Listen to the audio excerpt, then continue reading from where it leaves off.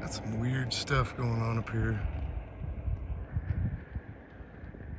What is that?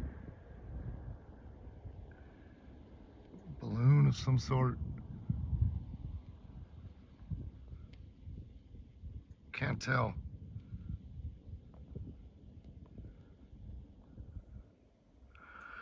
This is above this is above the uh, desert proving grounds outside of Yuma, Arizona. And I've got some weird spherical floating whitish looking thing. I'll zoom in on it for you a little bit. Let's see. It's kind of, what is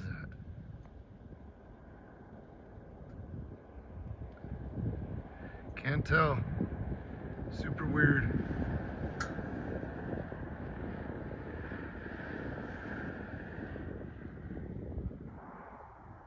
Huh.